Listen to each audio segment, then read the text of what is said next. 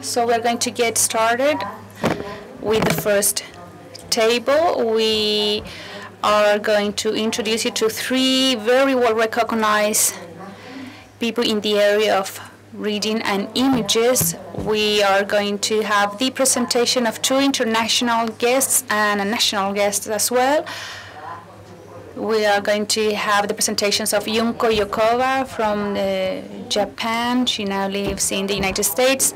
She's a professor and a researcher of reading and language from the Center of Literacy of Illinois in Chicago. And she's a director of the Center of Education through a child's book of the same university. She has focused uh, her research on multicultural uh, and child reading, early education, considering the different economical and cultural context, and the teaching of reading. As part of her publications, we have the well-known book, Children's Book, in children hands, and she has led the International Committee on the selection of uh, books of the United States, and she has also participated in several committees of the International Reading Association and the National Center or the National Council for Teaching of English. The other uh, speaker is Maria Cecilia Silva Diaz. She's from Venezuela and lives in Spain. She's studied at the University of Caracas, and she did a fellowship in Boston. She led the area of studies of child books in the World the Bank of Books in Venezuela. She's a PhD from Barcelona University and a member of the Gretel Book, uh, the Gretel Commission of Research, and she's a teacher and she coordinates the Masters in Books and Child Literacy. She also organizes courses on the OEI, um, the Master of Illustration at the EINA Institute in Barcelona. She's an author and editor of different publications, and she's been participating as a judge of the Andersen Award, along with uh, Junko some years ago. Now she works as a professor and uh, researcher, and also she works an, as an editor at Ekaré. We have an Ekaré stand outside. The other speaker is Carmen Luz Maturana from Chile. She has a master in linguistics and she's also studying a master's in uh, linguistics. She works as a professor in the School of Education and and the same university and she works in animated books and the multimodal reading. Her last publications are the history of puppets in Chile and the use of their metaphor and also theater and cinema during the 20th and 21st century in Chile. So now we're going to get started with the presentation of Junko Yokota.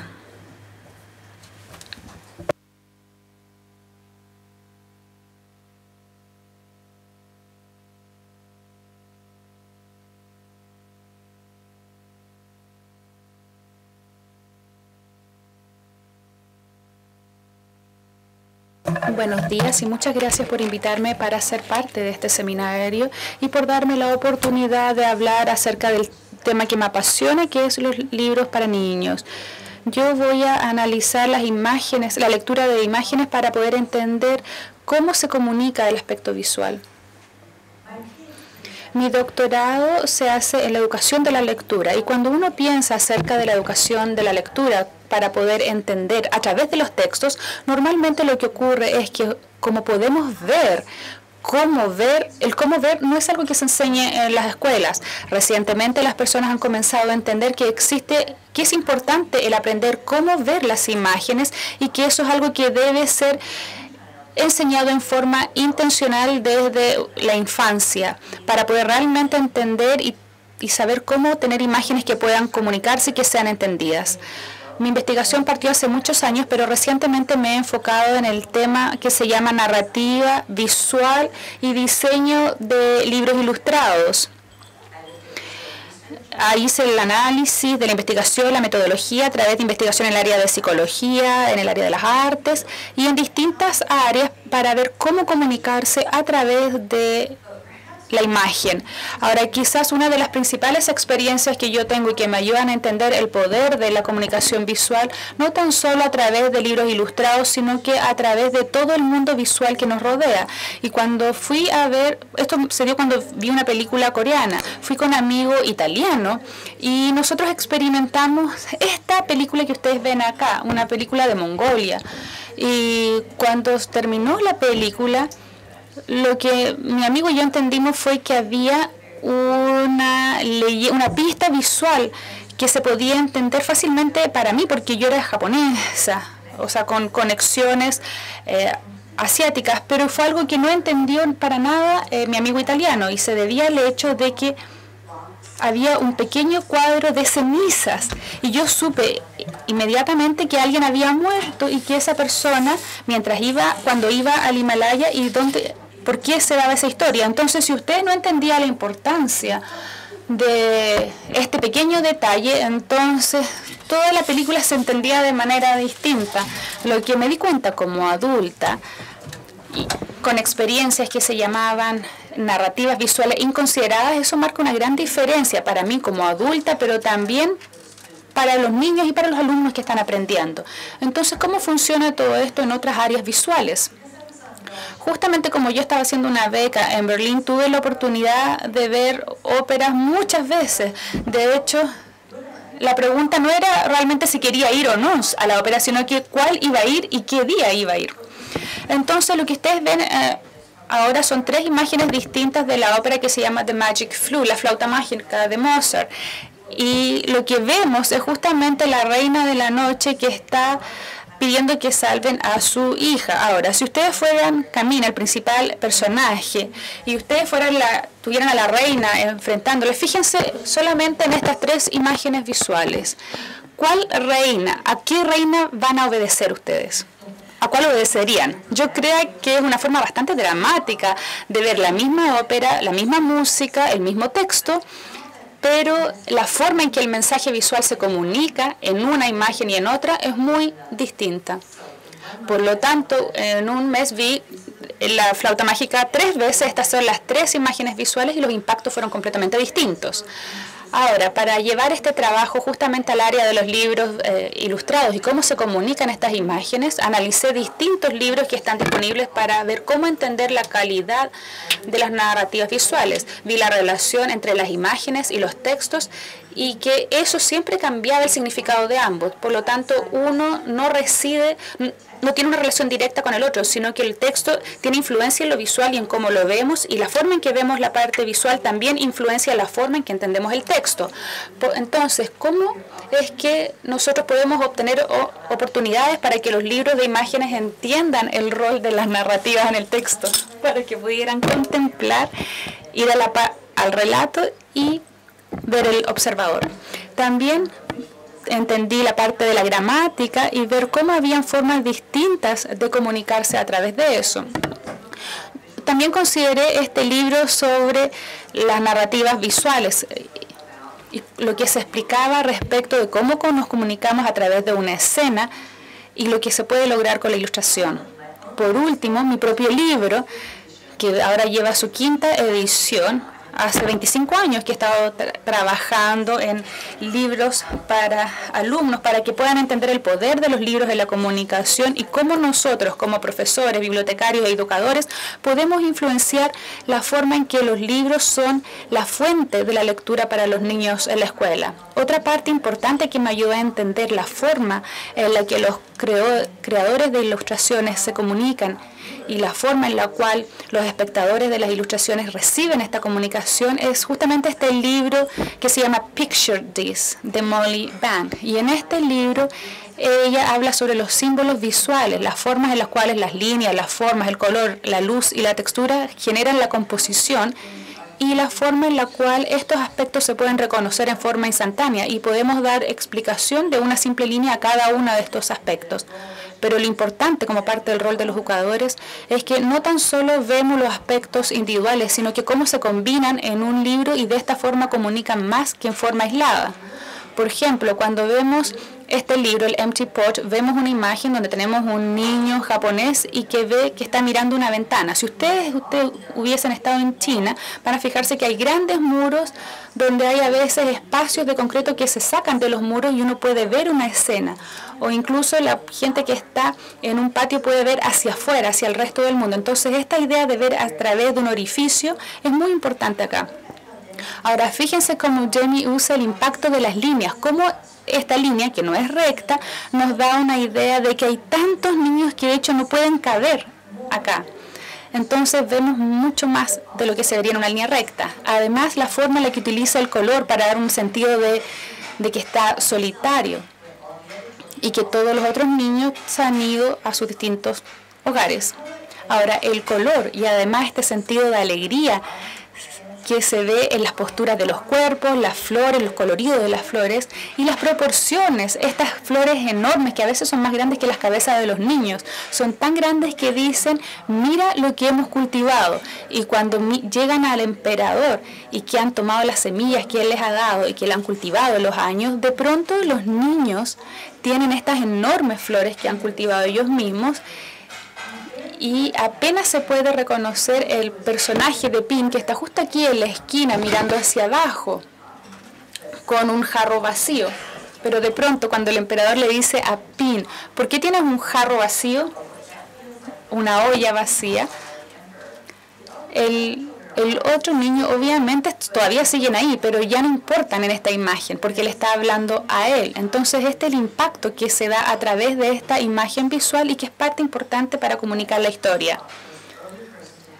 Arthur Locker ayuda o Rodolph Coddle también trabajó en el área de la estética de un libro y vengo llegando eh, de un viaje eh, a Georgia hace un par de días y en Georgia ellos han creado muchos arte muy bello para poner en los libros, pero eran más estáticas en realidad. Y lo que Caldecott quiso representar era que las ilustraciones para los niños debieran representar una historia, las ilustraciones debieran tener algo a través de que la, de la expresión visual les diera un sentido de la, del personaje y de la escena de forma tal que el espectador, el observador, pudiese entender una historia que está que es parte de la ilustración. Cuando tenemos libros sin palabras, lo visual lo dice todo. Hay varios proyectos que se han desarrollado a través de IBI, donde tenemos un centro de investigación para libros sin palabras y muestras en distintas partes del mundo. Y además una tercera serie que va a niños emigrantes y que tienen problemas con esta idea de no ser capaces de comunicarse en, en el mismo idioma, en su idioma nativo. Entonces el, cuando hay niños que hablan otro idioma en esa escuela o a, veces hablan ya sea el, libro del libro que se les pone o de la escuela a la que van. Y a veces no puede, la importancia de esto es muy importante. Las ilustraciones pueden dar mucha más importancia a las palabras y quisiera mostrarles algunos ejemplos de lo que es muy importante. Quizás conocen la historia de Rapunzel, donde ella suelta su cabello para que el príncipe pueda subir por la torre. Y cuando ustedes se fijan en este libro muy antiguo alemán, cuando estuve estudiando, lo que se ve es que su cabello es tan lindo y voluminoso, pero que no eh, representa el sentido de la historia, porque el texto es muy tradicional en la forma en que se cuenta la historia. Por otra parte, cuando vi otra edición más moderna, se cuenta la historia en una forma completamente distinta, y aquí entendí igual que era Rapunzel, y entendí que ella es Rapunzel porque tiene su cabello largo.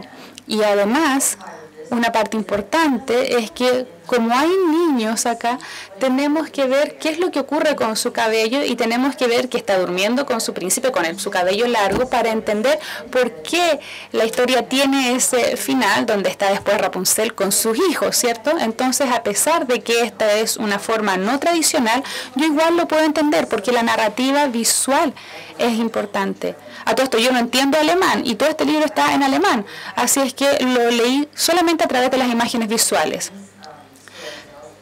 También está el libro de Grimm. Fíjense en esta imagen que está en la parte superior. Aquí pueden ver exactamente lo que se está diciendo. No hables con extranjeros, no corten flores. es fácil. Entonces el poder de la imagen visual aparentemente también es para el receptor, pero ¿cómo podemos ayudarle a los alumnos para ver cómo ellos se pueden comunicar también? Cuando vemos el trabajo de niños pequeños eh, a través de su dibujo, yo de hecho trabajé con eh, niños de kindergarten y de 6 años de edad. Y en eso eh, a veces es muy difícil ayudarles a entender cómo se puede uno comunicar en forma eficiente.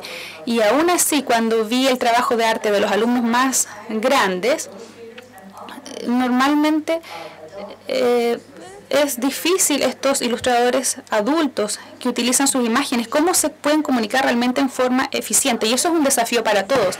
Por otra parte, a veces los libros ilustrados, que a veces tienen un, como por ejemplo el Calderwood, que es el, el premio más importante en Estados Unidos, aquí se ve mucha anticipación, es una imagen muy rica. Fíjense esta imagen a su izquierda, lo que ustedes ven es que Gloria, el perro, está justo atrás del eh, policía y lo está imitando. Y todos los niños están sorprendidos y están muy bien, muy contentos mirando a lo que está diciendo poesía porque, el policía porque están viendo el perro. Esto le está diciendo, no dejen sus cosas en la silla. Entonces Gloria está animando lo que, lo que dicen, lo que puede pasar. Entonces fíjense que hay el humor y el humor está se da justamente por la ilustración. El texto no dice nada de lo que está haciendo el perro, de lo que está haciendo Gloria. Aquí hay otra página también muy importante. En esta página uno puede ver qué es lo que ve el policía en la pantalla de televisión, justamente porque uno ve el espejo que está atrás.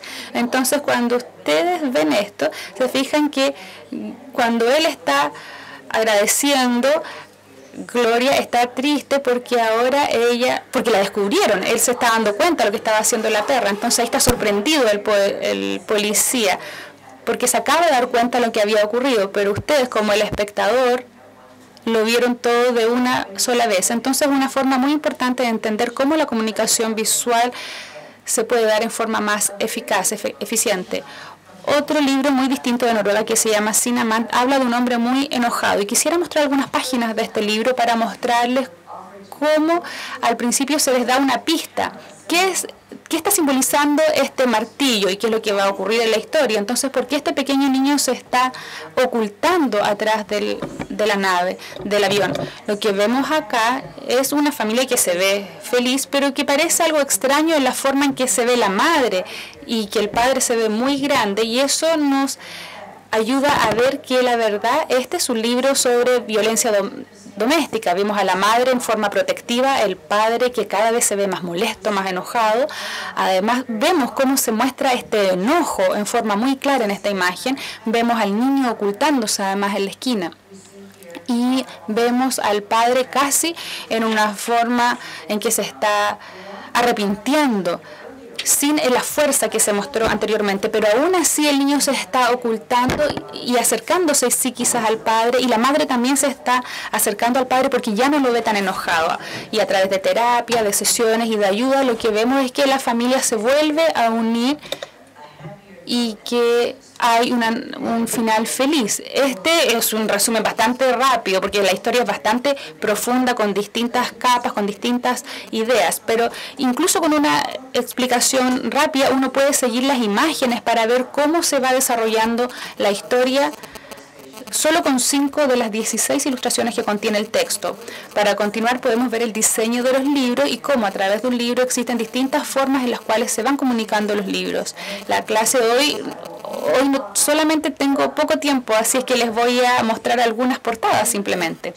Cuando ustedes ven dos libros que se han publicado este año, el 2014, este es el primero de los ejemplos que quisiera compartir. Acá vemos un ave y el título es Avery Wonders y la, el ave está en una postura muy bella, pero no tenemos más información al respecto.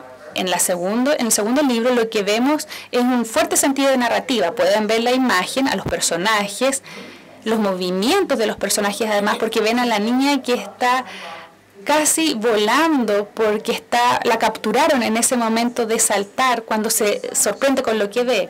Entonces lo que se está implícito acá es más, en cambio la estática de este primero no nos da ninguna idea de lo que puede estar incluido en la historia.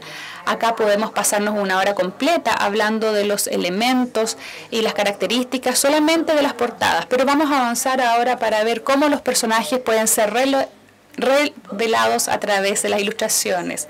Hay distintos aspectos de las formas que se pueden comunicar y a veces todo, incluso lo que está en la, en la portada, hasta las páginas, van revelando información hasta las últimas páginas. Todo nos cuenta cómo se van desarrollando los personajes.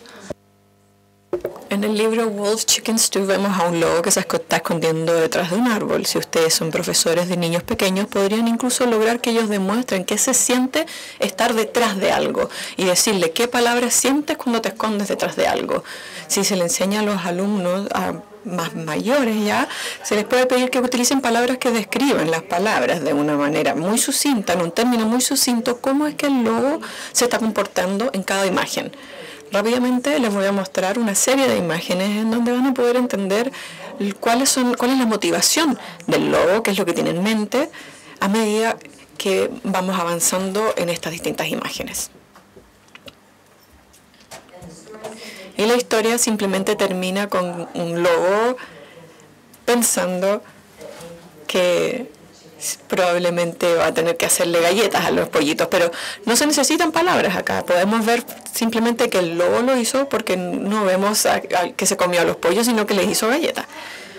También eh, la trama se revela a través de la ilustración. En la siguiente imagen vamos a ver cómo un niño está sentado aquí y vemos muy narrativamente nos está contando la historia de esta imagen porque podemos ver una tijera, lo vemos sentado encima de una pila de diarios y nos estamos preguntando qué va a cortar la trama es revelada a través de esta ilustración. Si vemos bien con atención qué está pasando, si vemos esta historia con distintos niveles, podemos darnos cuenta de que es una historia con respecto a socioeconomía, sobre clase, sobre relaciones familiares y mucho más profundamente de lo que veíamos inicialmente.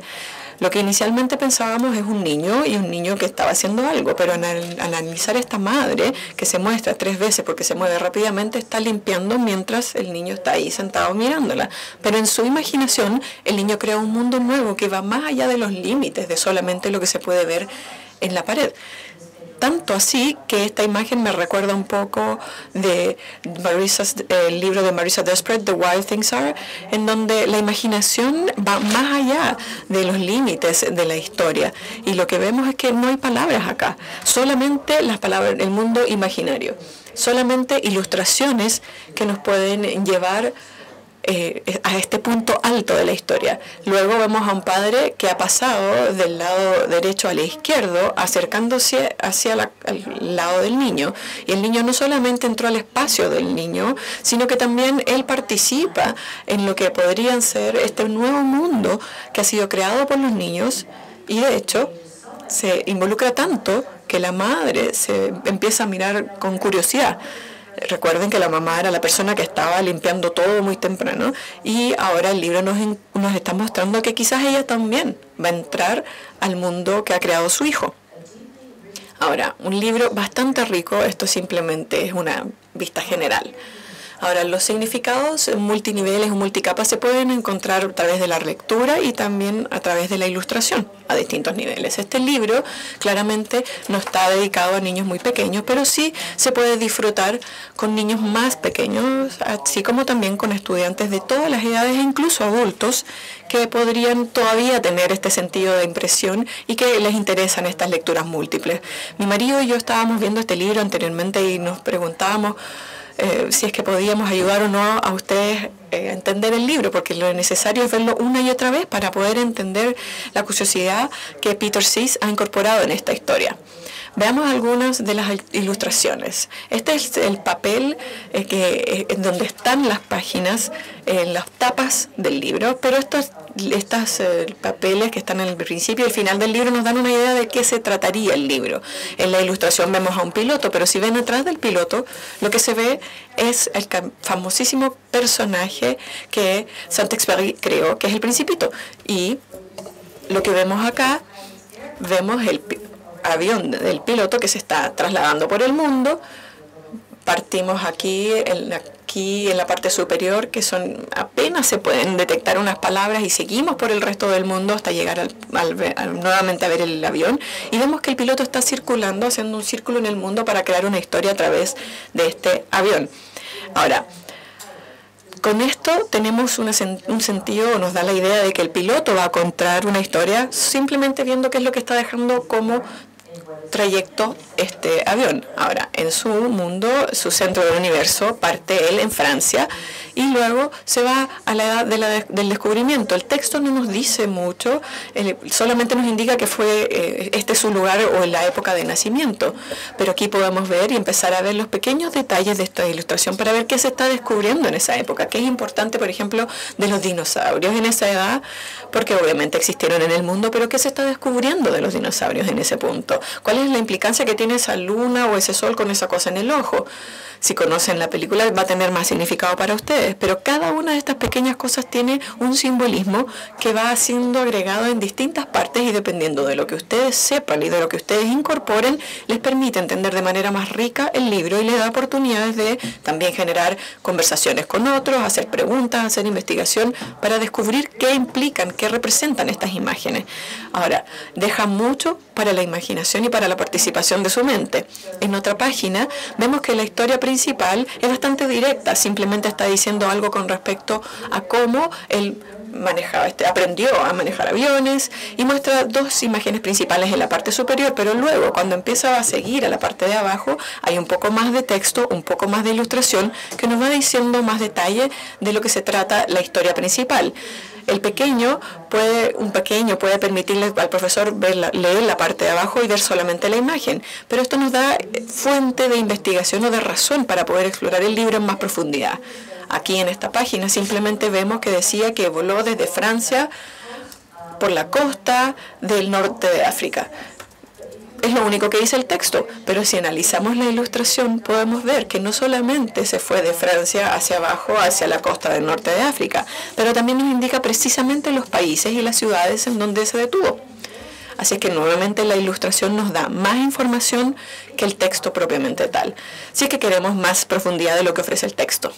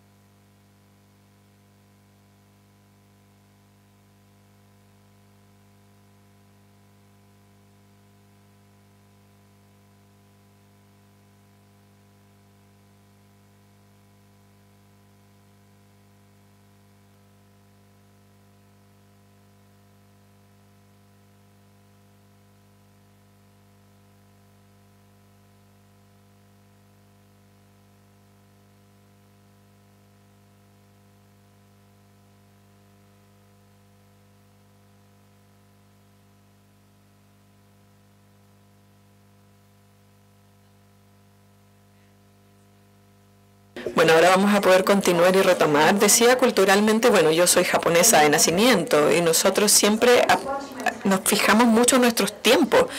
Y ella me dijo, no, no te preocupes, podemos hacer un coffee break, estamos en Chile. Sé que después de vivir en Estados Unidos uno no quiere interrumpir el coffee break de la gente. Así es que, bueno, como decía, hay muchos aspectos de esta ilustración que están que tienen que interpretarse necesariamente. Obviamente, cuando el avión cae, no cae y deja la forma de un hombre. Tenemos que descifrar por qué. ¿Qué está diciéndonos Peter en su ilustración al crear esta forma en la que se ve este accidente del avión? ¿Qué es lo que quiere decir cuando él toma, por ejemplo, la ciudad de Nueva York y toma la isla de Manhattan y la hace parecer un cocodrilo? ¿Qué quiere decir con estos detalles? ¿Y por qué cuando Saint-Exupéry eh, nos muestra, por ejemplo, el, el, Océano Atlántico y nos muestra la imagen del principito. que está ahí inmersa. ¿Cómo sucede eso a medida que ellos va, que él va imaginando su historia? Y luego, cuando habla de la Segunda Guerra Mundial y qué es lo que ha sucedido, tenemos todo que va desde los mapas que mm, no son mapas precisos.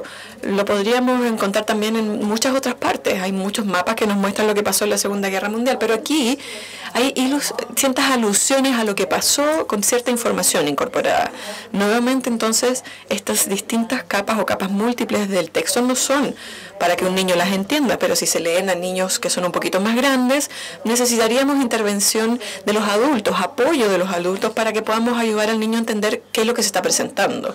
Pero más importante aún, esto es un libro con ilustraciones para todas las edades y predominantemente uno que los adultos pueden enseñar a alumnos de secundaria, incluso mayores. Finalmente, tenemos acá eh, este signo de interrogación que nos queda aquí con la desaparición de Saint-Exupéry. ¿Qué va a pasar con él? Y Peter mismo ha puesto aquí el avión de una forma que tiene una bicicleta que está justamente con este eh, avión, que es la que partía al principio de la historia, que no sabemos qué es lo que ha pasado, pero podemos imaginar e interpretarlo de nuestra, desde nuestra perspectiva. Pero obviamente hay tantos matices en las imágenes que tenemos que pensar nosotros todos como educadores en cómo, como adultos, nosotros podemos apoyar la experiencia que tienen los alumnos con estos libros de ilustraciones. Lo que hacemos es que nosotros podemos salvaguardar esto, podemos decir, los niños necesitan este libro, los niños les gusta este libro, pero también podemos decir, podemos ayudar a los niños a entender a medida que les vamos presentando nuevos libros, porque finalmente es el adulto, el profesor, el educador, el que hace las preguntas, el que lleva el libro y que se los presenta a los jóvenes y les da oportunidades para que piensen más profundamente. La pregunta que con la que yo me encuentro con mayor frecuencia es por qué libros con ilustraciones para alumnos de secundaria. Y voy a hablar de esto en la siguiente sección cuando vayamos más allá de la básica, de entender más que nada la estética de estos elementos.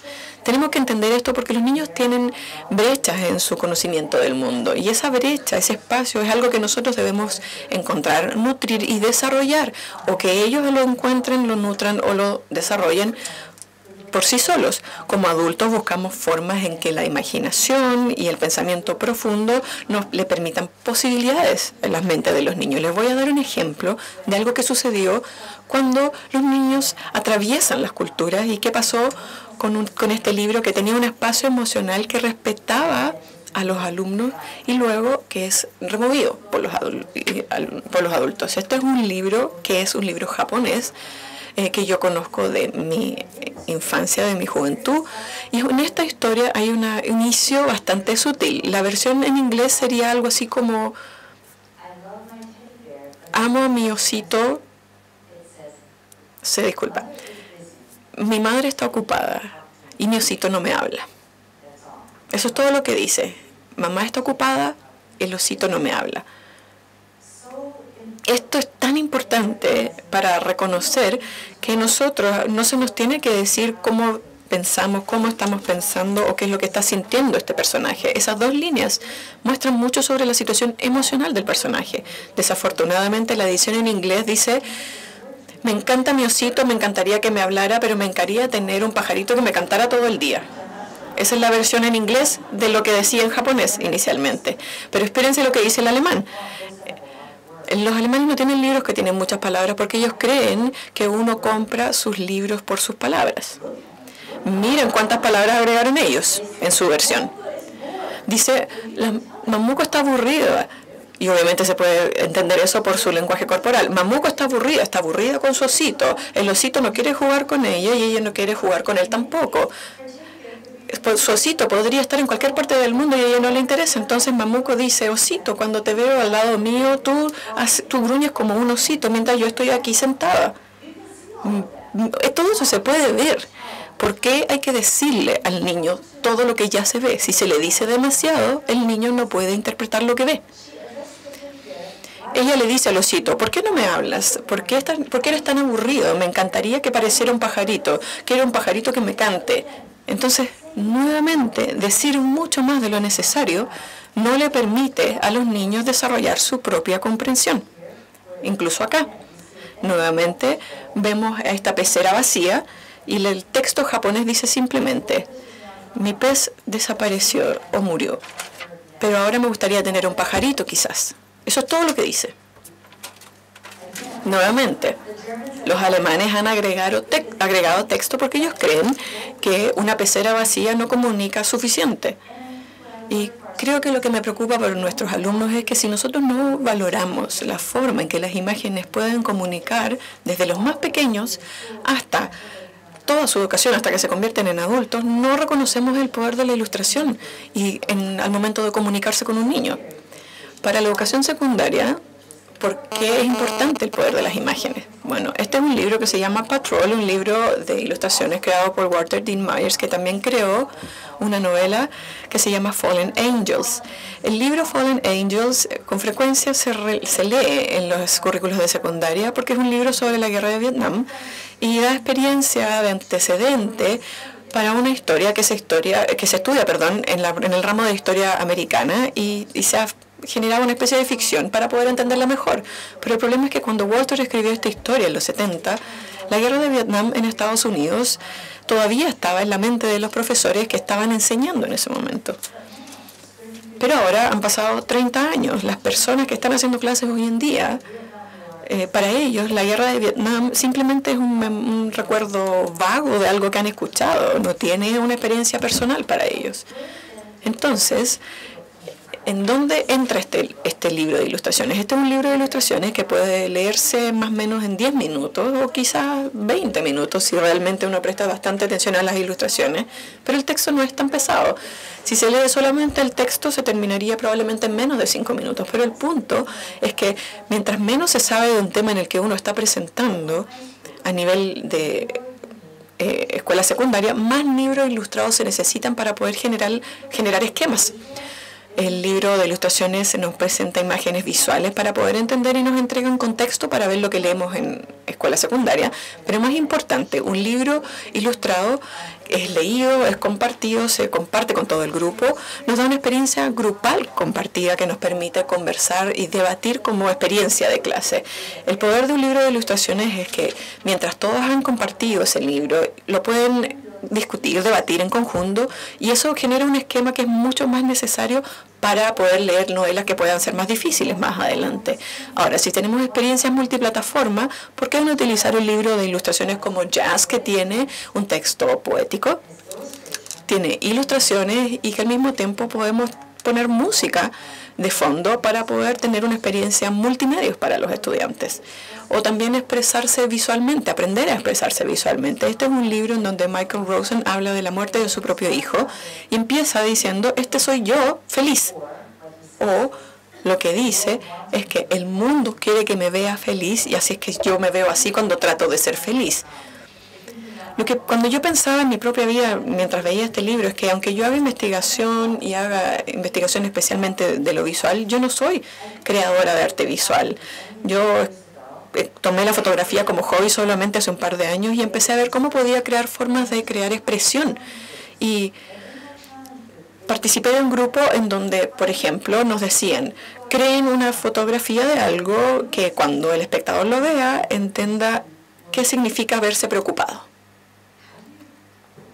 ¿Y cómo puede uno capturar con su cámara algo que represente al espectador preocupación?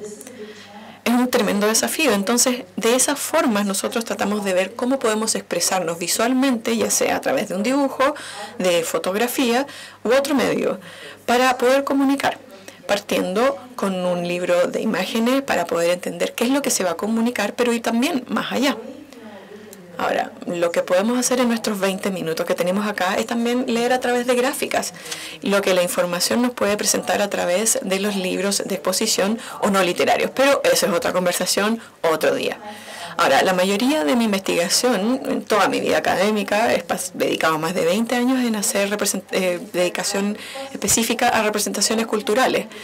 Lo único que tengo tiempo para mostrarles hoy al respecto es solamente una ilustración para poder hablar de cómo o por qué la ilustración auténtica generalmente parte con alguien dentro de una misma cultura. No siempre Hay gente que puede hacer investigación y puede hacer un excelente trabajo, pero si uno está inmerso en la cultura, uno sabe cómo expresar, aunque la persona pueda ser, por ejemplo, un hombre que vive en Francia y que publica en Francia y su trabajo es aceptado como libro de ilustraciones francés, su su historia previa, que es perteneciente a la cultura japonesa, claramente se, se, trasluce, se ve en, en, su trabajo.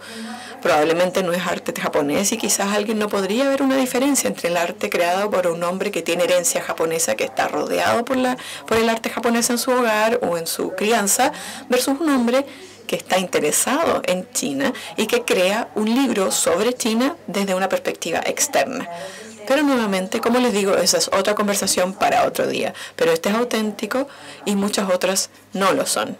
Escojan cuidadosamente. Y por último quisiera hablar del tema de educar el ojo.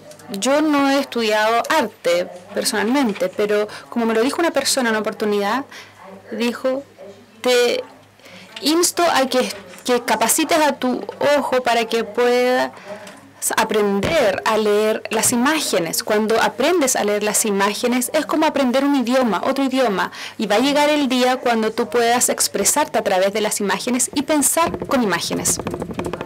Y por último, esta idea de que todos nuestros alumnos se merecen la oportunidad de una experiencia rica y artística. Nodelman dice, el asumir que los niños prefieren a las imágenes de Disney les niega la experiencia profunda del arte. Y nosotros tenemos que darle a los alumnos esta experiencia de una experiencia artística rica y ver cómo leer esta experiencia y ser capaces de expresarse visualmente además. Muchas gracias por su tiempo.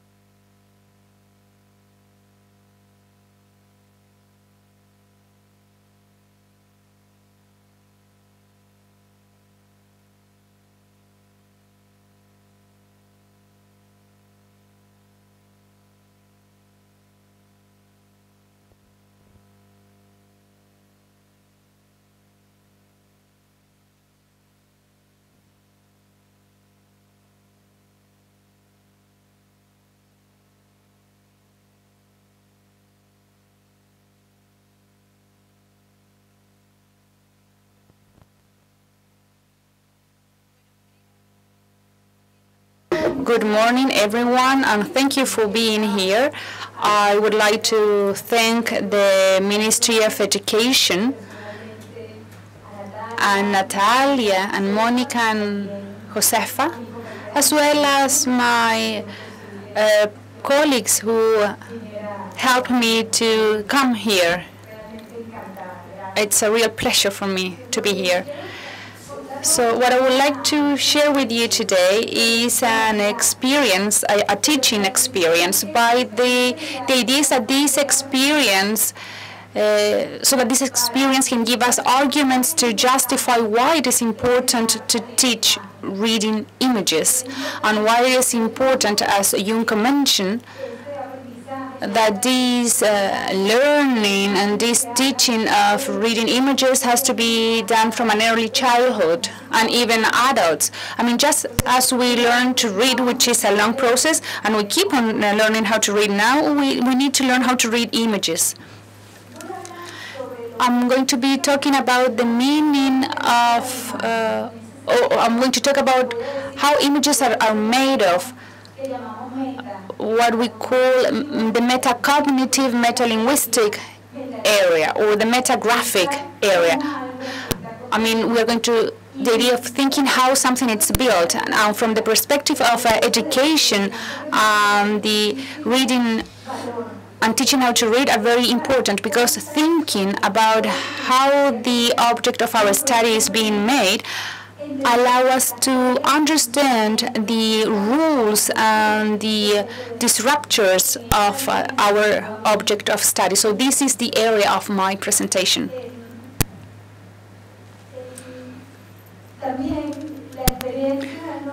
Experience cognitive criticism has uh, set itself one objective because for cognitive poetry, it is very important to see how texts are being made according to the emotion that those texts want to depict. So I would say that that's the uh, basis of or the foundation of my presentation. And there is also an intermediate area between the analysis, I mean the analysis of an image and our uh, response as observers. I teach how to read images to adults in the experience I'm going to share with you took place in the postgraduate course in the design school called EINA, which is part of the Barcelona University and in that area we we have a course that it's called text analysis which is actually uh, the analysis of uh, picture books. And these are very informed adults about the uh, composition of images. Most of them come from fine art schools or graphic design schools. However they are not very well familiarized with uh, children's books even though most of them say that they want to be creators. They want to create picture books. That's their aim. But actually, they don't really know many authors. But they they have worked with images and they are part of these. Uh, they have a, a background on images or visual images. So in this class, I'm very interested on focusing on how images are built based on the initial response of viewers. So images have a great effect on our emotions. Images say a lot of things, just as uh, mentioned. And in these regards, the proposal uh, to our students is to take their own experience of being the observers of an image, and based on that experience, they should try and, and ask themselves what is part of the, in the construction of that image that allows them to live that experience. So as part of this uh, class, we do a lot of things. I don't really have the time to tell you all the details of the exercises we do on the details on the on the class. Uh, but uh, I'm just going to give you an example of one of the exercises that we do, which is in the middle of the class after we've uh, uh, worked on how the picture books operate, the different parts, etc. So then we ask students to to do a visual analysis, an interpretative visual analysis. And this analysis is a technique used by Professor Vandergrift many years ago.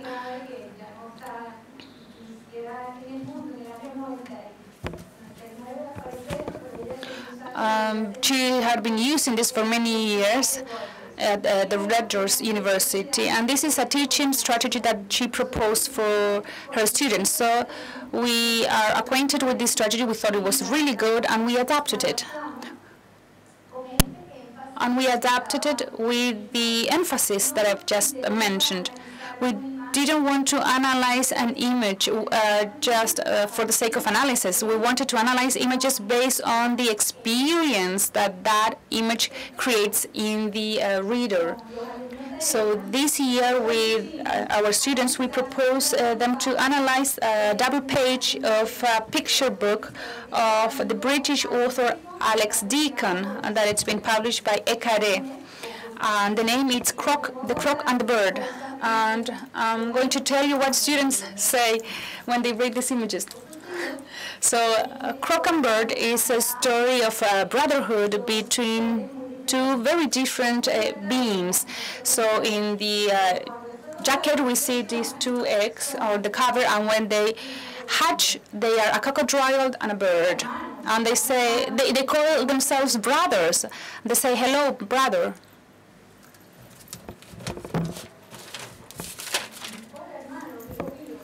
Hello, brother, said Pio. I'm hungry, said Coco. So they go and look for food. They don't even know what food is. They don't know what they like. So then, as they grow, they start learning based on the differences. So uh, Croc, Croc and Bird teach themselves different things, how to build a nest, how to hunt, for instance. So they grow together as brothers until one day a river takes them to a, a lake where there is a flock of birds. So then they realized that they had been mistaken the entire life, that they were not brothers, and they decided to go to take different paths. So, so they, they and they they couldn't adapt and they get together again they end up being brothers again. So we ask students to choose a double page whatever double page they wanted. So in order to do an interpretation an interpretative visual analysis so they had a script with some things that they should uh, pay attention to So de depending on what we uh, had been, we were studying as part of the course.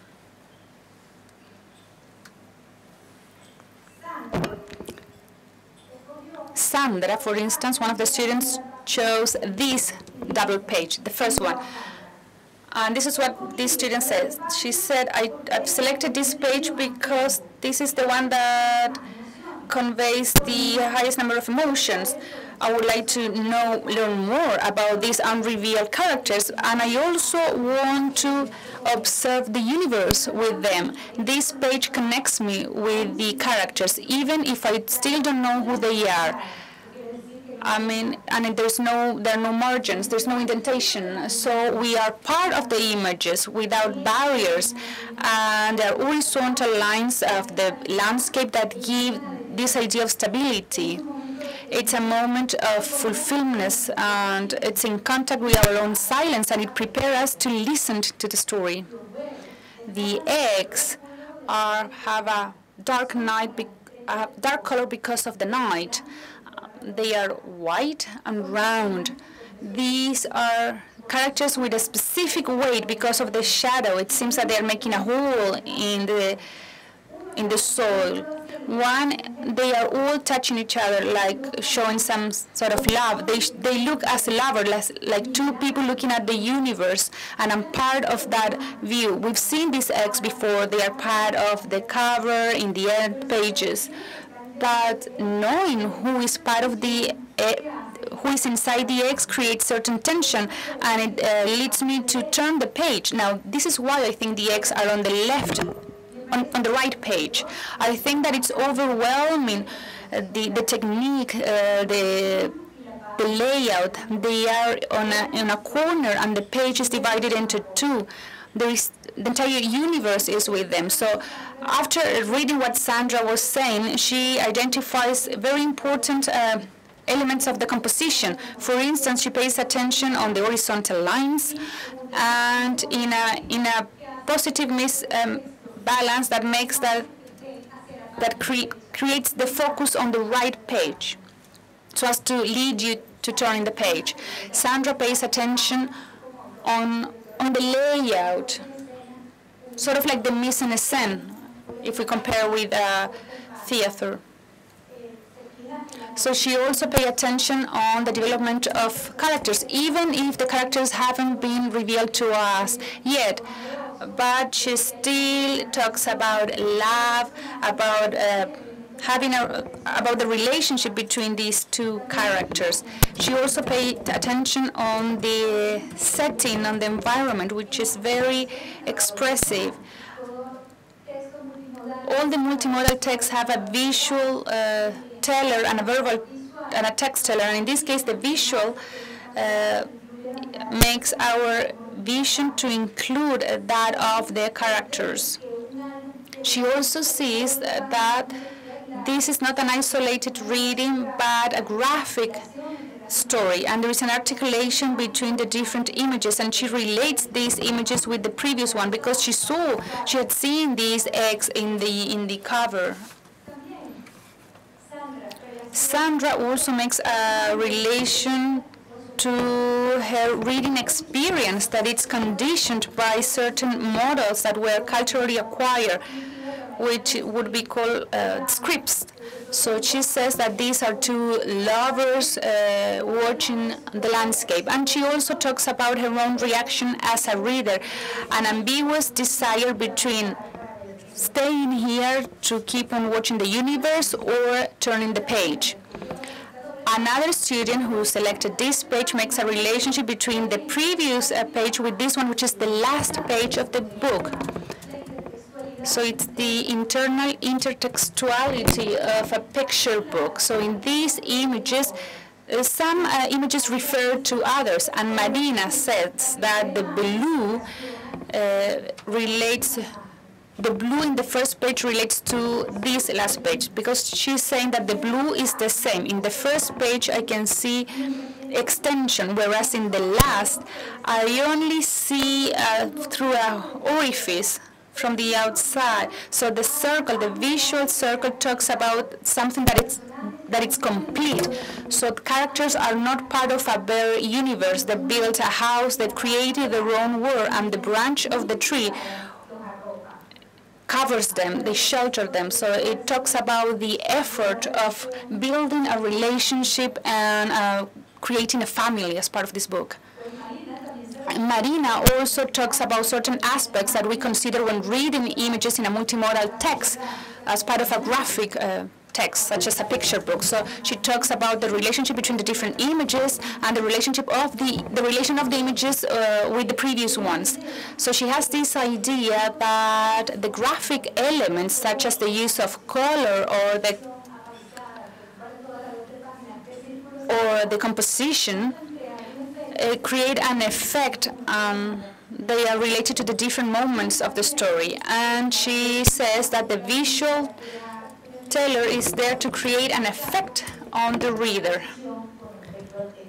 and to create certain stance uh, with regards to the story. So thinking about how this is being made allows you to read an image from an emotional perspective, but also taking a distance, sort of like a paradox. So based on what I feel, I can take a distance and I can think about how it's being made, what it's part of the text, that allows me to feel something. which in turn take us to this area of crit critical literacy. But the awareness of that allows me to take a distance and think that the different situations, that the different images and the different multimodal texts create different positions and that we can take a distance from a critical perspective. So in this image with croc and bird, this is an image that is uh, very fun. We have these steps that are related. I mean, the text says they would practice how to fly on float as logs in the water. That's the first text. The second one, and they practice how to climb the branches and dance. When there was good uh, weather, they would take the sun on the rocks. When there was bad weather, they would they would uh, get closer so that they would be warm. I'm glad that you are my brother, said Croc. so these are the texts that are interrelated. In the left side, we have two pairs of text, and on the right, just one. So in this composition, we have uh, diagonal lines, which gives speed to the narrative and also gives us a route for the reading. Now, what does a reader say about this? Martina, Martina. On the left, it's a quicker and funnier uh, page, and the right one is more active and less effective. That there's why there's a warmer color on the top and a rounded coloring on the bottom. On the right, we see the tenderness in the relationship. Leo says that in this page there's an argument that it's been built. Uh, narrative argument. The double page as a whole, it's like an argument that it's being developed and is proving us and it's showing us and came helping us get to the conclusion that these both animals feel happy to be brothers. Now, the close-up on the last text highlights this image that works as a conclusion for the argument, meaning this one here, where the perspective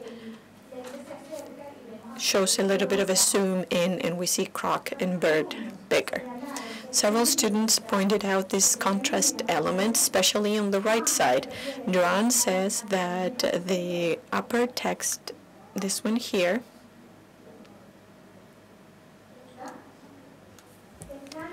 is warm and with sharp edges, and that the one on the bottom is cold and rounded edges and they also use that contrast, uh, like for instance when there was good weather or bad weather, and they and he wonders about the shadow on the floor on the right side. Would that be the shadow of the bird reflecting on the floor? Is that a symbol that is showing us some sort of prehistorical times where birds and dinosaurs were a family? Were truly brothers.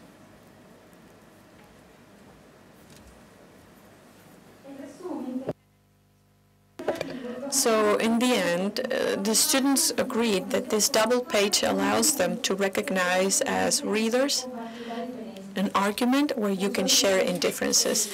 We many of them saw that there was contrast, uh, you know, by highlighting differences, both for the text saying one thing and the image saying another thing.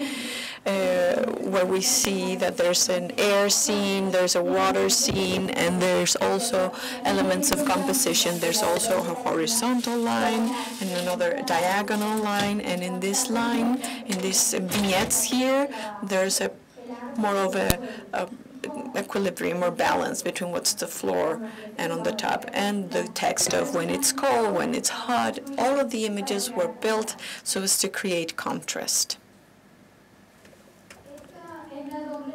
This is the double page where Croc and Bird get together. The text reads, Bird found Croc climbing on a tree. I couldn't sleep, said Bird. I couldn't either, said Croc. I missed you, said Bird. Me too, said Croc.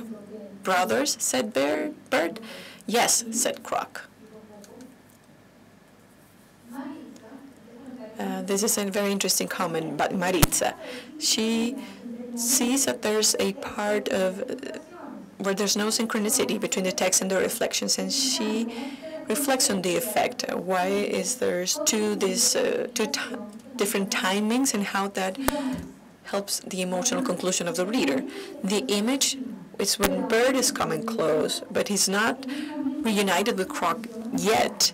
It's uh, emotional tension. We want them to get together to find each other, but we want we wanted to overcome several uh, obstacles. The text it's significant for it not to choose the same timing. The dialogue actually happens when they have encountered each other again. And the dialogue and the image has the highest intensity that shows the text of the story. Both um, characters show each other affection and they recognize that they are brother. Uh, there is intention in having an image and a text not actually coinciding because it enhances the emotion. Now, giving all of these comments, reflecting on images gives room for uh, effective kind of answers. When we analyzed the double page, it was what the image was um, evoking. But when there were some uh, effective uh, responses or answers where the readers would relate uh, the book to their own experiences, um, there was one student that wrote that uh, they really liked the book uh, because he had grown up he had grown up in a family of scientists and he felt that he didn't really belong and then he looked for another family where they were more artistic. There was another student that was saying I grew up with two stepbrothers and we had to build a family. So the family the story was related to their family lives or stories but uh, that's what the book actually evokes, these uh, effective responses. By the end of this course, some uh, participants wrote and said that they really enjoyed the exercise. For instance, Blanca, quote, I really enjoyed the analysis. Uh, when I was in school and at the university, they would um, uh, make us analyze texts and poems. Uh, I really like it. May I suggest the paradox that sometimes simplicity has a lot of complexity in it? Uh, is not an album or a picture book that is complex in its interpretation. It's quite simple, but when you wonder about how they actually did it, it adds some sort of complexity, which is the interpretation complexity that uh, it's not about the story, but how complex it can be to read the images. And for most of our students, uh, this was a, an exercise that was very challenging. Uh, it forced them to reflect, to pay attention to every image in the book so that they would analyze it. In this case, uh, I would also uh,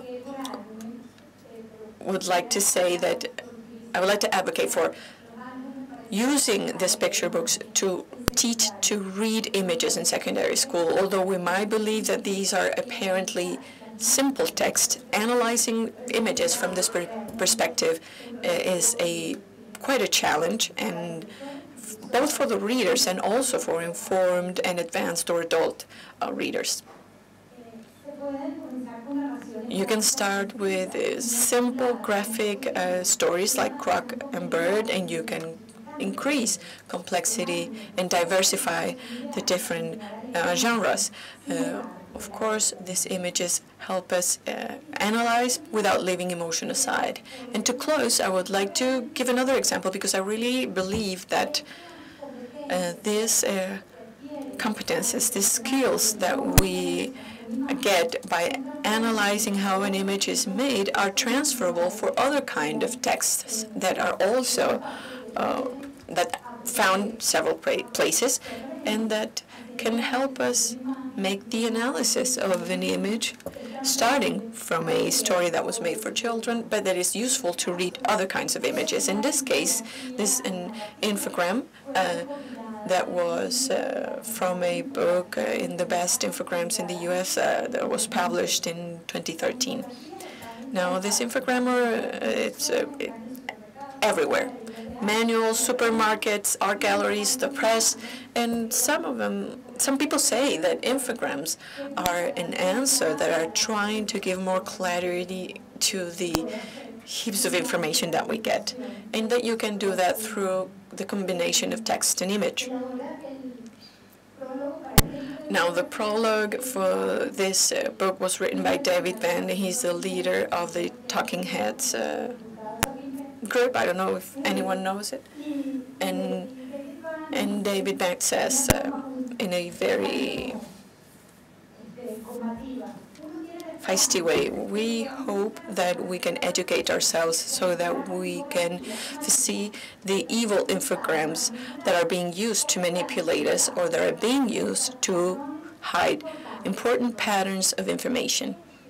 It is important to learn to read images in a critical perspective and the exercise of interpretative uh, visual analysis can help us do that.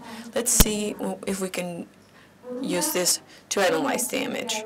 On the one hand, how the creators of the image decided to lay out uh, or use as a setting uh, the soil and the sky from Mars.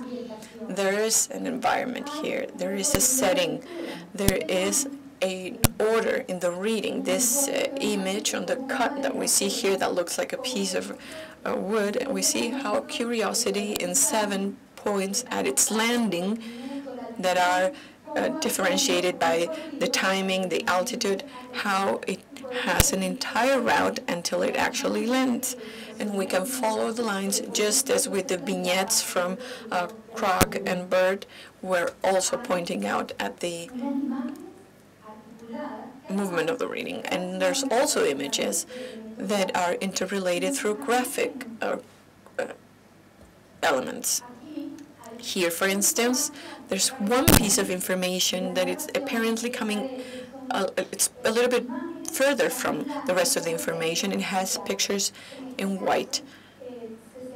At this point, they are pointing out how are they getting more precise in the area where the curiosity is going to be landing. And on this other case, we see uh, predecessors from curiosity and how they have evolved. This information is in white to point out that this is a text that has other purpose, like what we see here, the explanation text. We have here the storytelling of the entire route of the Curiosity, and there's a very powerful image of Curiosity with its four wheels landing in Mars, giving us the sense of achievement of domain once it will, once, I mean, it actually lands, it will be a huge feat. We can also see the same resource of using a circle uh, to show images that in this case were captured by NASA and uh, they show us in this kind of a zoom in which is the same resource that was similar to what we saw in Bird. This is an image that, although it is a scientific infogram, it is trying to explain to the reader. There are no characters uh, in this information. However, there is a story. And if we look at the title, Seven Minutes of Terror, because of the countdown, it's a title that is already appealing to your emotions. Now, the setting in Mars makes the reader feel part of the environment as well. The creators of this image said, we felt that we couldn't miss the opportunity of taking the people to Mars with the help of the soil and the sky of Mars as the setting on the page.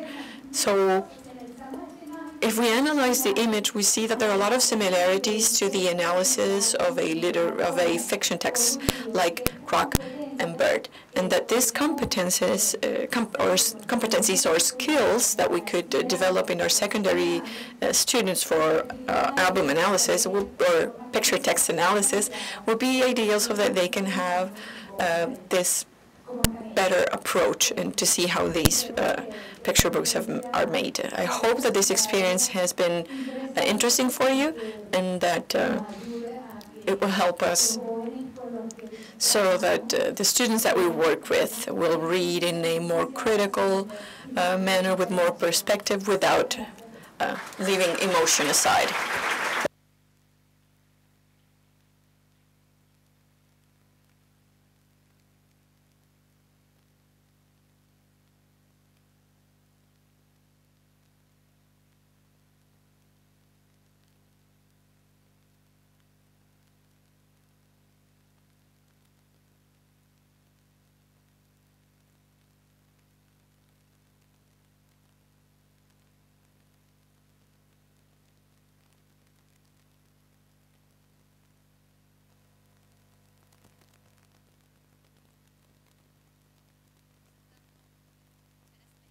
Well, thank you, Maria Cecilia. Now Carmen Luz Maturana will make her presentation. We will see the analysis of a book trailer.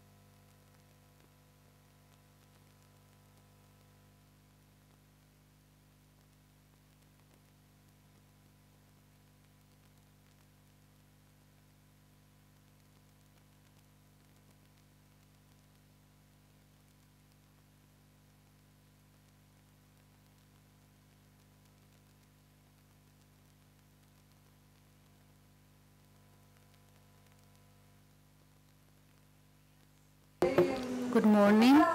This is the proposal that I would like to share with you today. It's the proposal of a multimodal reading model of animated images.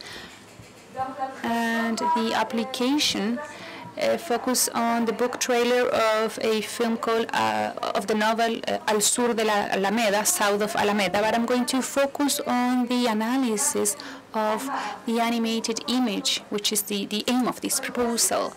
This is a summary of my presentation. Uh, very, very general terms, I'm going to refer to the meta-functional hypothesis that it's part of linguistics.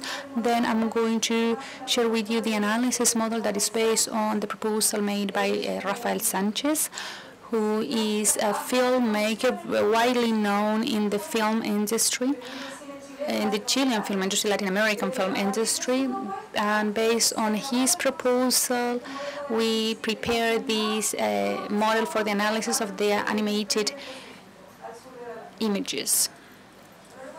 So I would like to tell you very briefly what is this uh, metafunctional hypothesis. As I mentioned before, this is a proposal created based on the functional systemic linguistics Mark Halliday, uh, actually, and the systemic functional linguistics, and he he argues that well, actually, this is part of linguistics, but then it's used in multimodal uh, discourse. So all contents are organized based on three components: ideal, textual, and interpersonal. So I'm going to apply this to the multimodal text, but initially this is applied to written text. Uh, so the ideal metafunction it's a uh, perspective that allows us to observe the words that are represented through text, considering text in a broad uh, sense. And the interpersonal meta function allow us to do an analysis of the relationships between the, the participants of images or the verbal text and the relationship between the producer of these images and the viewer. And the textual meta function, it's a perspective that allow us to observe how the text is organized as, as such based on the construction so I, am trying to show this synthesis to see where I'm located. And, and this proposal continues with what was worked by Van Leeuwen, uh, as mentioned by Junko, as a basis of the analysis of images but they apply it to the fixed images. In the case of the uh, film industry, they apply it to to the film uh, frame or the video frame. So to do this, uh, I'm going to start now with, I'm going to show you or share with you different categories uh, proposed by Sanchez, such as the way in which we select our unit of analysis based on an animated image, I mean a fixed text because in a fixed text, if we wanted, we could focus on the image uh, as uh, shown by uh, Maria Cecilia, the double page, or the way that image is, is structured as part of the, the whole. But the complexity of animated images is is that it's a chain uh, to each other to create meaning. So considering this complexity, I think that Sanchez's proposal is very clear because it limits, it outlines different units of analysis. Now, all, all of this is film uh, terminology, but the but the meta-functional hypothesis allow us to to have access to these uh, analysis perspectives that I show, such as the ideational and the others. As you can observe in images,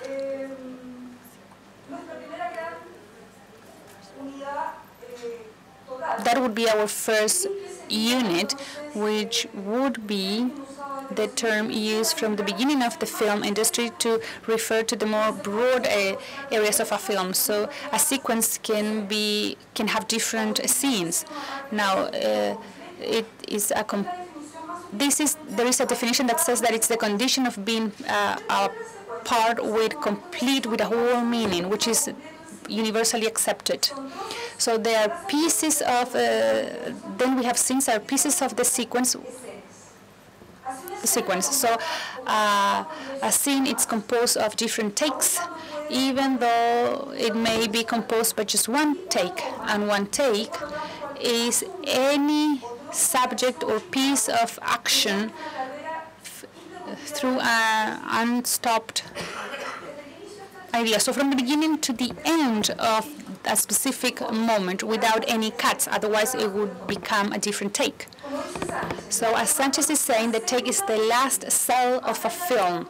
And beyond this idea of the last uh, uh, cell, we have the film frame or the video frame. So we are going to be using these categories or these units of analysis and the specific categories uh, that he proposes. So the model is based on these three perspectives that are not really uh, concrete in the text. They are just perspectives from which I can see uh, an image. So one image can be observed from different perspectives. Uh, the word, the relationships between the characters, and uh, this uh, textual meta function. I mean, it's the way in which it's organized. So I would like to highlight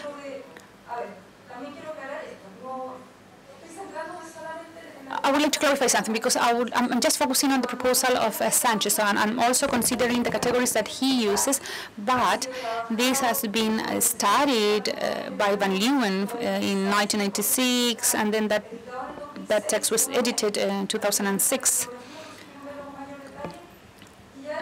So last year,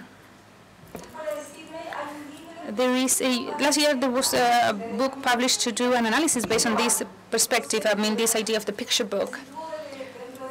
So I'm, I'm, considering this context, and I'm, I'm just highlighting the proposal of Sanchez because uh, all of the other aspects are uh, fit with this proposal. So in order to observe the world, I'm going to consider these two movements, the zoom in, when the camera access to the world that it's been uh, told, and then the zoom out or zoom back. And I think that this category is very important because, uh, well, Sanchez passed away, by the way, in the year 2003. And uh, and there is also a, a term that it's uh, that he uses that it's called constant pulse. And I'm wondering actually whether he took it from the English uh, industry, but actually it's the only term that he uses without the equivalent in English, really. So he's saying that it's the threshold between photography and the in animated image as such. It's, it's sort of like a continuous shot. It, it's a repetitive movement, but it's not a progressive movement. There is no progression here. And, and the next step would be the progressive uh, movement. I mean, the image as we normally observe it. So this would allow us to access to the world that is being presented to us. And then we have the close-up uh, or the distance uh, that is created uh, between the image and the viewer. This is nothing new. This has been analyzed and studied. There are different factors, of course. These are the main, the main ones. So we have shots uh, with close-up that make us closer to what's being shown. And the closer the image is to us is it's like the, it's sort of like we're getting closer to that world. And perspective also has meaning with regards to the image in general, not just in terms of the animated image, but all the other examples that we've uh, seen before. Now, basically, if the viewer is at the uh, height of uh, the eyes, of what it's being depicted, there is a sense of equality. Now, if the viewer or the reader is located above the image, you are kind of like saying that the image is being coded, uh, highlighting the viewer. And if it's below, it means that we are a, in a diminished position with regards to what it's being observed. I mean, this is just coding, of course, or decoding, uh, the way depending on the way images are structured and so as to show or to tell the story. And then when we want to see how the animated image is uh, distributed, the, normally we see the cuts between the different shots, which is what uh, creates the organization of the multimodal or animated multimodal text. And I'm also going to talk about the fade in, fade out, and the dissolve which can be used for the analysis of the book trailer. I'm not going to show you the video now, but this is kind of like the continuous shot, continuous uh, pulse. So if the water were flowing, there would, there would be a constant movement. I mean, there is no movement of the camera itself. I mean, the subject is not uh, changing. It's just constant movement, and there is no change in, in the frame. I would like to read to you a definition of Sanchez so that you are cle uh, more clear on this idea of pulsación constante or continuous shot.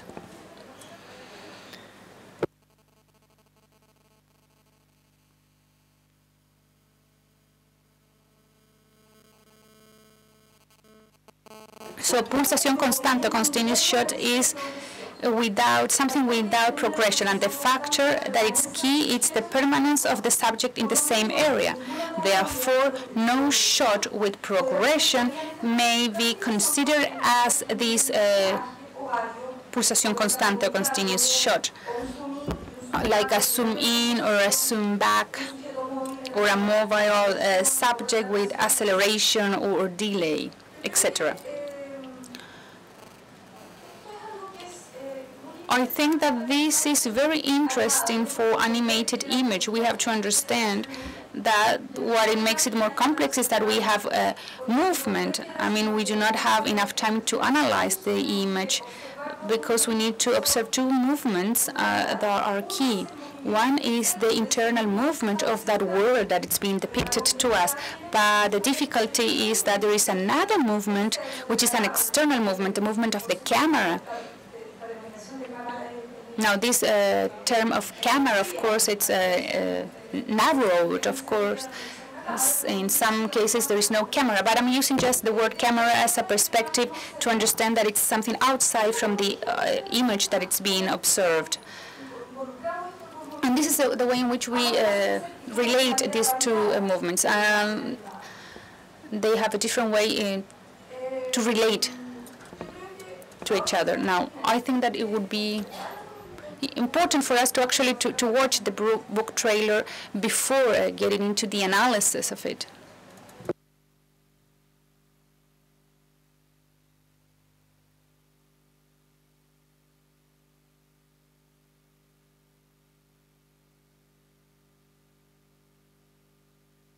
Actually, this is uh, also available in English in YouTube, but it's really short, so it's not going to take a while.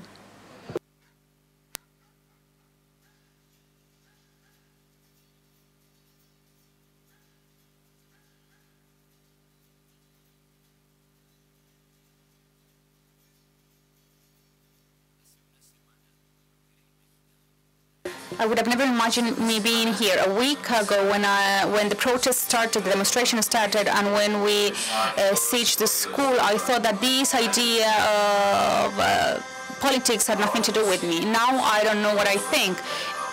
Everything was Paula's fault. We've been here locked in for three days, and it seems that we're going to stay here for a while. This is why we've uh, heard from our leaders that we have to stay here, that we are going to achieve our goals, that we need to stay together.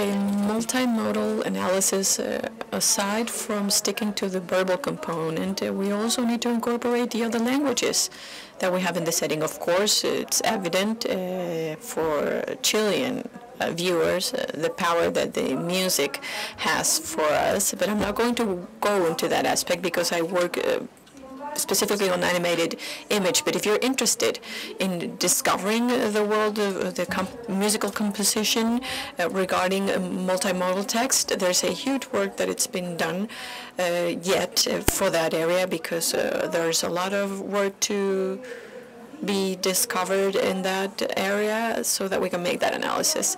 Now, from the interpersonal, um, or before going into this topic,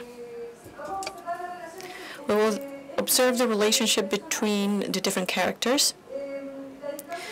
So the social distance is graphed through different uh, uh, scales of, of uh, shots. there's an extreme close-up when we uh, have the camera or the image or the observer is showing uh, the uh, seeing how the student starts moving, and we start from a in, from an image at more of a at a distance. But give me a few seconds, because there's something I would like to highlight. So we start from the image of these two hands of the student uh, that it has a local meaning. We know it's a student because of the way he's dressed, uh, navy blue with a hood, uh, when he's sticking those posters on the streets. And then through zoom in, we start getting close. We start with a student. We see the hands that, uh, for those that watch the book trailer, do not know who these hands belong to. Uh, only the, those who have read the book understand that this uh, the teacher, a very important character, uh, that has access to the world of the school through her apartment. So we start from an equality perspective at the same height, and then we position ourselves in a perspective. We are being privileged to observe the student from from a height. And then we get to this close-up, where, where there's closeness to the character.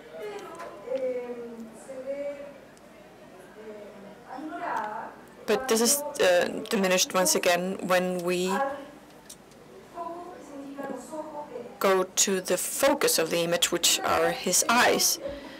The book trailer is something that I sort of should have shown after introducing textual meta function, but I didn't want you to have some sort of void in between these two topics. So now I'm going to go into the top, the the, the actual um, topic. Sanchez has several uh, elements of analysis to see how these uh, shots are organized. I'm not going to go into detail here. If you want to, you can go into the text. It's available with several versions uh, from 73. The last publication was in, in Argentina. His book is uh, Montaje Cinematográfico, and uh, it's very important because uh, it is. He makes a constant parallel between the meanings of the images and the verbal text. So I'm just showing you this uh, group of shots where there's uh, a subject going into the frame and then you see it from behind and you put that together and with that you generate continuity in the image. However, I'm going to focus on this category the dissolve, uh, dissolving or uh, juxtaposition of images, but not through the classical resource, which would be to have uh, different cuts of the different shots, different takes. And this is a diffusion of an image in another one, but it's very subtle uh, because it's uh, still fast. And the other effect that I wanted to mention is a fade out and fade in when the image goes to black. That's the specifics that we are going to be looking at because when you position the image once again, it's uh, more, almost uh, unperceptible. So at this point, I wanted to introduce a video, but I want you to also watch it again by the end so that we can uh, compare to what, what I've uh, presented so far. These are pictures from the book. The very same pictures from the book are the ones that are used to create this uh, feeling of movement. I think it's interesting because this could have easily been uh, could have we could have created uh, a new material. You know, we could have fallen into the temptation of just uh, uh, developing a sort of a comic or cartoon animation. But uh, the book trailer works with the original images from the book by Larraín and Montes. And this is what I was just saying. Uh, we have the, we start with the zoom in. We go in to the student of the world and we go into the student's world through the eyes of the teacher. This is the real image on the screen that it's uh, just stuck there with glue and we immediately put ourselves in the world of the book. It's also um, unnoticed. Uh, but this is what we are prioritizing in the multimodal uh, text to sort of diffuse images. We never see who the teacher is, uh, as well as the movement of the student when he's sticking the poster on the street. On the street, and also the meaning of uh, red and light blue. There's a powerful meaning for these two colors here, and based on my experience with Latin American literature, it has its own, it has a meaning that it's very interesting to research how color is placed in these three meta functions in Latin American literature, specifically in this novel. Red is the power, the world of the teacher, and the world in light blue is uh, for uh, the world of the students' revolution. So we start from the top. From the top, we're observing the student.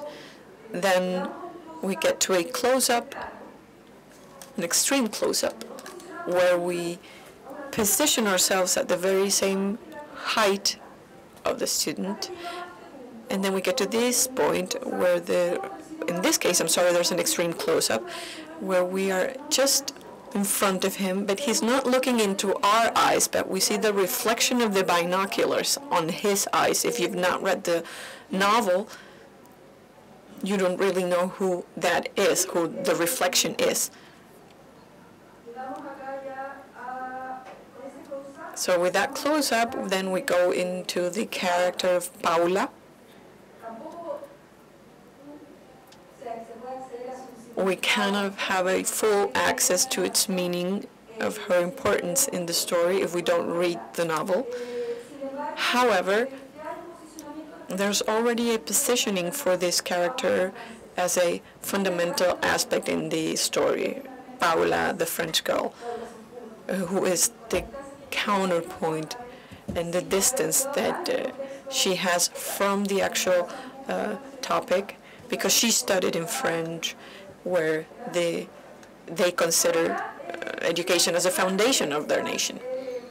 Now I would like to show you these different shots of showing the flow of the image.